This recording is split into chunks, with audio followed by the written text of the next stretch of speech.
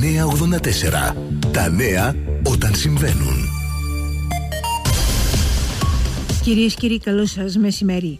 Την εξάπλωση και στη χώρα μας τους τελέχους όμικρον του SARS-CoV-2 που προκαλεί με ραγδαίο ρυθμό επιδημίες σε όλη την Ευρώπη περιμένουν οι υγειονομικές αρχές και οι ειδικοί επιστήμονες. Ήδη τα περισσότερα περιστατικά του νέου στελέχους που έχουν ταυτοποιηθεί αφορούν σε άτομα που δεν είχαν σχέση με ταξίδι στο εξωτερικό. Όπως αναφέρει ο καθηγητής Παιδιατρικής και πρόεδρος του Εθνικού Οργανισμού Δημόσιας Υγείας, Θεόκλης Ζαούτης, το καλό σενάριο που αναφέρεται από αρκετούς επιστήμονες στο εξωτερικό είναι να υπάρξει με την όμικρον μια γρήγορη ανοσοποίηση του πληθυσμού έναντι του SARS-CoV-2 με ένα πιο ήπιος στέλεχος. 7 στους 10 πολίτες είτε έχουν κάνει την τρίτη δόση του εμβολίου εντωμεταξύ είτε έχουν κλείσει το σχετικό ραντεβού σύμφωνα με τον ίδιο. Σε καθημερινή βάση τις τελευταίες ημέρες διενεργούνται τουλάχιστον 80.000 εμβολιασμοί τρίτης δόσης ανά την επικράτεια. Η αναμνηστική τρίτη δόση είναι ένα μοναδικό όπλο έναντι του στελέχους όμικρον και επαναφέρει σε υψηλή θέση την άμυνα του οργανισμού έναντι του ιού, δηλώνει η Πρόεδρος Εθνικής Επιτροπής Εμβολιασμών Μαρία Θεοδωρίδου. Βασικός σχεδιασμός της κυβέρνησης είναι τα όποια μέτρα για την αντιμετώπιση της πανδημίας να πάρθουν μετά την πρωτοχρονιά και πιθανότατα αυτό θα συμβεί. Αλλά αν χρειαστεί θα ληφθούν και νωρίτερα, δηλώνει ο Υπουργός Υγείας Θάνο Πλεύρης. Χθες ανακοινώθηκαν 4.036 κρούσματα, 79 θάνατοι, ενώ 624 ασθενείς νοσηλεύονται διασωληνωμένοι. 270 χθες τα κρούσματα στην Κρήτη. Στις 126 νοσηλίε σήμερα στα νοσοκομεία του νησιού. Οι 94 σε κλινικέ COVID. Οι 32 σε ΜΕΘ, εκ των οποίων οι 31 διασωληνωμένοι. Μεταξύ των ασθενών στο νοσοκομείο Χανίων και τρία παιδιά ηλικίας 3 μηνών, 13 και 15 ετών. Σε εφαρμογή θέτει την ίδια ώρα δίκη στο νοσοκομείο Χανίων το Plan B για την αντιμετώπιση της αύξησης των κρουσμάτων που συνεπάγονται περισσότερες νοσηλίες και πίεση στο σύστημα υγείας. Καθώς χθες στη COVID καταγράφηκε το νοσοκομείο των Χανίων πληρότητα 100% με καλυμμένες και τις 7 διαθέσιμες κλίνε. Γύριζαμε σελίδα, μοίρεο το μαγκάλι για ένα ζευγάρι ηλικιωμένων από τα Βορίζια που βρέθηκαν νεκροί δύο ημέρες μετά, την ημέρα των Χριστουγέννων, όταν τους αναζήτησε γειτόνισσα που κοίταξε από το παράθυρο και αντιλήφθηκε το κακό. Τραγωδία ημέρα των Χριστουγέννων και στο ήλιο Νατικής με ένα 41χρονο άνδρα να καίγεται ζωντανός στο κρεβάτι του μετά από βραχικύκλωμα της ηλεκτρικής κουβέρτας που χρησιμοποιούσε. 17 οι νεκροί από αστικές πυρκαγιές μέσα μόλις ένα μήνα σε όλη τη χώρα που οφείλονται σε κάποιο μέσο θέρμανσης. Δημοσία δαπάνη θα τελεστεί η κηδεία του πρώην Προέδρου της Δημοκρατίας, Καρόλου Παπουλία, που πέθανε σε ηλικία 92 ετών. Σύμφωνα με απόφαση της κυβέρνησης, θα αποδοθούν κατά την κηδεία του οι τιμές ε, που προσήκουν σε αρχαιό κράτος. Αποφασίστηκε επίσης να τηρηθεί δημόσιο πένθος για τρεις ημέρες, όπως και οι σημαίες να κυματίζουν με σύστιε στα δημόσια κτίρια. Συλληπιτήρια για το θάνατό του από το σύνολο των πολιτικών, όπως και την τοπική αυτοδιοίκηση της Κρήτης. Αλλαγές σε 13 γενικές και ειδικές γραμματείες ανακοίνωσε το πρωί ο κυβερνητικός εκπρόσωπος Γέννης Οικονόμου. Σύμφωνα με κυβερνητικά στελέχη, με τις προωθούμενες αλλαγές δίνεται έμφαση στην πρόθεση των κυβερνητικών προτεραιοτήτων, ειδικά αυτών που αφορούν στην εργασία, στην προστασία των δασών, στην παρακολούθηση διεθνών τάσεων για τη χάραξη δημόσιων πολιτικών. Η προκαταβολή σύνταξης για τον Ιανουάριο, η καταβολή της έκτακτης οικονομικής ενίσχυσης των 250 ευρώ σε χαμηλοσυνταξιούχου, δικαιούχους αναπηρικού επιδόματος ΟΠΕΚΑ και ανασφάλιστους υπερηλικέ, καθώς και η πληρωμή των τακτικών επιδομάτων του ΟΠΕΚΑ για το Δεκέμβριο, περιλαμβάνονται μεταξύ άλλων στον προγραμματισμό των καταβολών του Υπουργείου Εργασίας και Κοινωνικών Υποθέσεων, όπως επίσης και των εποπτευόμενων οργανισμών για την εβδομάδα 17 με 31 Δεκεμβρίου χάνουν το κοινωνικό μέρισμα των 250 ευρώ την ίδια ώρα 200.000 χάμηλο συνταξιούχοι, όπως σημειώνει στον 984 ο επικεφαλής της ΕΝΙΠΕΚ Αλέξης Μητρόπουλος. Σύμφωνα με την ανακοίνωση του ΕΦΚΑ που επικαλείται, οι δικαιούχοι του έκτακτου επιδόματος των 250 ευρώ είναι 630 4.028 και όχι 800 ή 830.000 όπως είχε αρχικά ανακοινώσει η κυβέρνηση. Οι τρεις σκληρές προϋποθέσεις για σύνταξη, ατομικό και οικογενειακό εισόδημα που πρέπει να συντρέχουν ε, σωρευτικά απέκλεισαν 200.000 χαμηλοσυνταξιούχους από το μικρό έκτακτο επίδομα, αναφέρει ο ίδιος στον 984, καλώντας την κυβέρνηση να υπάρξει μια διορθωτική ώστε να ενισχυθεί το σύνολο των δικαιούχων. Ο επικεφαλής της ΕΝΙΠΕΚ σημειώνει πως χάνουν το επίδομα δικαιούχοι από 2 έως και 20 ευρώ. Τελευταία εβδομάδα η τρέχουσα για τους φορολογούμενους ώστε να κλείσουν τις εκκρεμότητές τους με την εφορία. Σε διαφορετική περίπτωση θα λάβουν ραβασάκι, στο οποίο εκτός από τους φόρους θα συμπεριλαμβάνονται και τα σχετικά πρόστιμα, τα οποία για ορισμένες κατηγορίες είναι τσουχτερά. Ειδικότερα, οι φορολογικές εκκρεμότητες που θα πρέπει να τακτοποιήσουν οι φορολογούμενοι αφορούν στον έξτρα φόρο για τα εισοδήματα του 2015. Στα αναδρομικά συνταξιούχων και αγροτών, την υποβολή φορολογικών δηλώσεων για τους κατοίκους εξωτερικού που μετέφεραν την κατοικία τους στην Αλοδαπή κατά το προηγούμενο έτος. Στις υποχρεώσεις μας, σύμφωνα με τον πρόεδρο των φοροτεχνικών, επίσης Δημήτρη Χριστοφοράκη, είναι ο έμφυε η έκτη δόση του φετινού λογαριασμού του φόρου εισοδήματος, τα τέλη κυκλοφορίας, οι γονικές παροχές όπως και η πληρωμή ΦΠΑ από τις υποχρέωσει επιχειρήσεις. Αναφορικά με την προθεσμία ρύθμισης των χρεών που δημιουργήθηκαν στην πανδημία με τις 36 ή τι 72 δόσεις, αυτή πήρε παράταση μέχρι τις 26 Ιανουαρίου 2022.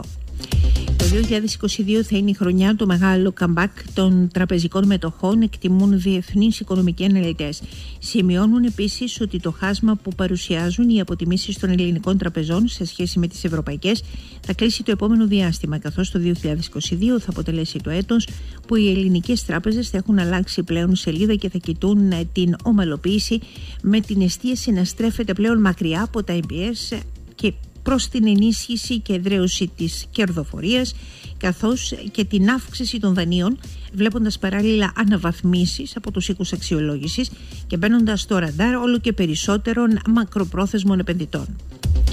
Με απλή βεβαίωση μηχανικού και όχι υποχρεωτικά, με ηλεκτρονική ταυτότητα κτηρίου θα γίνονται οι μεταβιβάσεις ακινήτων μέχρι και 31 Ιανουαρίου 2022 όπως ανακοινώθηκε από την Πανελλήνια Ομοσπονδία Ιδιοκτητών Ακινήτων. Όπως αναφέρεται, κατατέθηκε τροπολογία στη Βουλή από το Υπουργείο Περιβάλλοντος και Ενέργειας, στην οποία δίνεται ευελιξία στις μεταβιβάσεις των ακινήτων. Ωστόσο, η δημιουργία ηλεκτρονικού φακέλου ενός κτηρίου είναι απαραίτητη και περιλαμβάνει όλες τις πληροφορίες που το αφορούν, δηλαδή μια διαδικασία χρονοβόρα και κοστοβόρα, σύμφωνα με τον κύριο Αράπολου, ε, που ε, πραγματικά κοστίζει πάρα πολύ.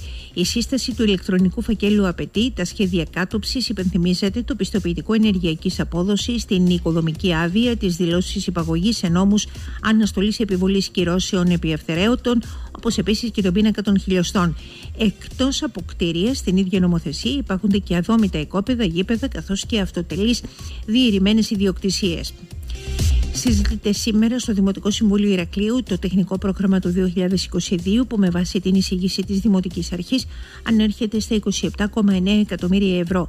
Κατά την απόψινή συνεδρίαση θα συζητηθεί και η πρόταση της Ηράκλειας Πρωτοβουλίας για την απόκτηση του Ηρώου και του γύρου χώρου απέναντι από το άγαλμα του Ελευθερίου Βενιζέλου δίπλα ακριβώς στο Πάρκο Γεωργιάδη.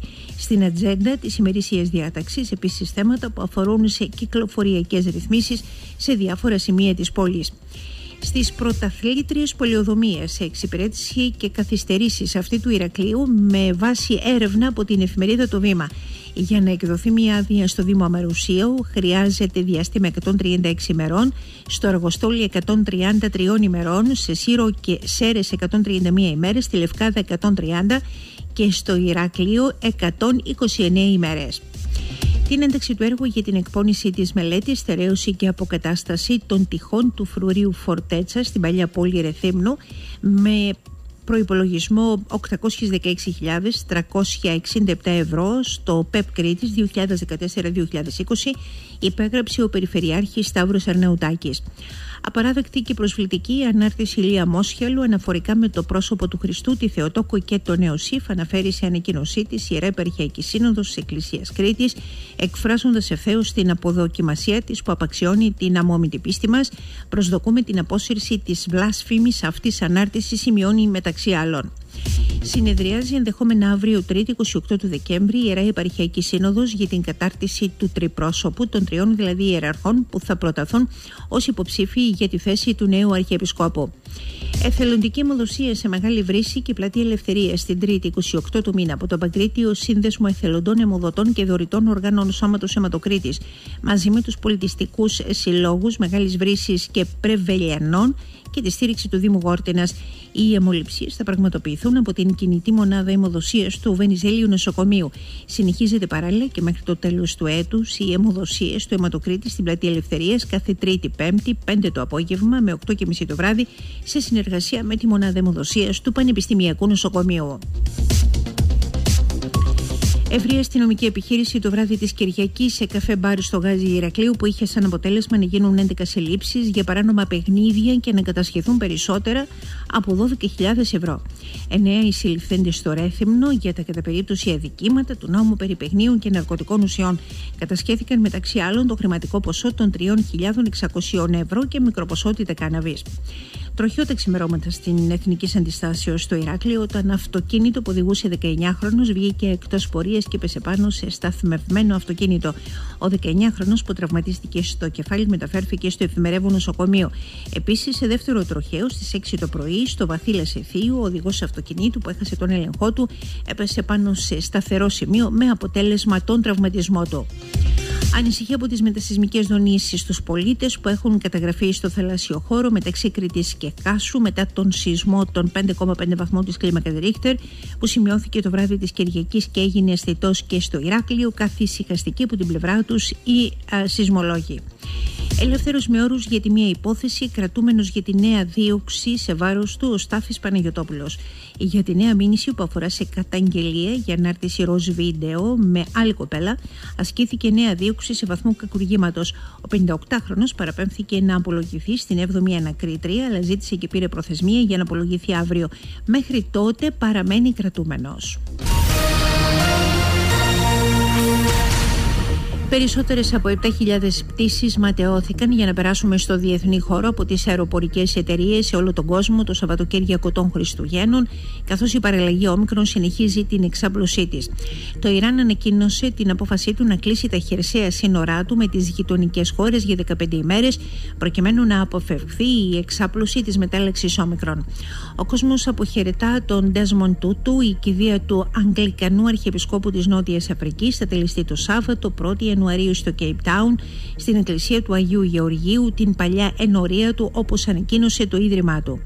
Οι Ταλιμπάν στο Αφγανιστάν ανακοίνωσαν ότι οι γυναίκες που θέλουν να ταξιδέψουν σε μεγάλες αποστάσεις πρέπει να συνοδεύονται από άντρα συγγενή τους, σε μία ακόμα ένδειξη ότι το καθεστώς σκληραίνει τη στάση του παρά τις αρχικές υποσχέσεις του φρίκη για την σφαγή δεκάδων αμάχων στη Μιαμάρ, το παρατηρητήριο Μιαμάρ Witness ανέφερε πως 35 άνθρωποι, μεταξύ των οποίων παιδιά και γυναίκες, κάηκαν και δολοφονήθηκαν από στρατιώτες στις 24 του Δεκέμβρη. Σε αποστολή εκδίκησης ισχυρίστηκε ότι ήταν ο 19χρονο ψυχοπαθής που επιχείρησε να εισβάλλει στην εξοχική κατοικία της Βασίλισσας Ελισάβετ για να την δολοφονήσει με βαλίστρα ανήμερα τα Χριστούγεννα. Ο έφηβος με καταγωγή από το Southampton κατηγορείται με βάση τις προβλέψεις στο νόμο περί ψυχικής υγείας αφού συνελήφθη όταν επιχείρησε να εισβάλλει στο κάστρο του Windsor. Τέθηκε υποκράτηση αφού υποβλήθηκε σε ψυχιατρική εξέταση όπως ανακοίνωσε η Βρετανική αστυνομία αστυνομία. 18 νεκροί αγνοούμενοι και 58 κοινότητες πλημμυρισμένες είναι ο απολογισμός των καταρακτοδών βροχών στην Βραζιλία. Περισσότεροι από 2.000 γερανοί πέθαναν λόγω της γρήπης των πτηνών σε ένα μεγάλο φυσικό δρυμό στο βόρειο Ισραήλ, ανέφεραν οι αρμόδιοι της Ισραηλινής Υπηρεσίας Φύσης και Πάρκων. 984 Νέα και Σπορτς στην ώρα τους. Κληρώνει σήμερα για 34 ομάδες η τρίτη φάση του κεπέλου ΕΨΗ, την τετάρτη κλήρωση για το κύπελο Ελλάδας. Η πρώτη ομάδα που θα δώσει το παρόν στο Final Four του κεπέλου στο Ηράκλειο είναι ο Ολυμπιακός. Οι Ερυθρόλευκοι δεν δυσκολεύτηκαν κόντρα στον Ιωνικό, τον οποίο και κέρδισαν με 110-85 στο στάδιο Ειρήνης και Φιλίας.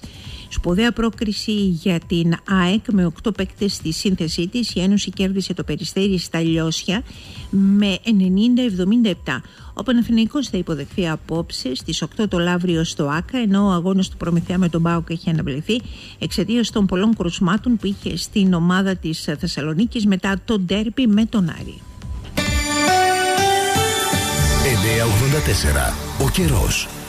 Άστατο ο σημερινός καιρός, άνεμοι από νότιες διευθύνσεις στα 3 με 5 μποφόρ και θερμοκρασία έως τους 17 βαθμούς Κελσίου. Κυρίες και κύριοι, στο σημείο αυτό ολοκληρώθηκε η ενεργητική σας ενημέρωση από τον 984 στο στούντιο. Αγγέλα Δουλγεράκη, Νίκος Φακιανάκης. Καλό μεσημέρι.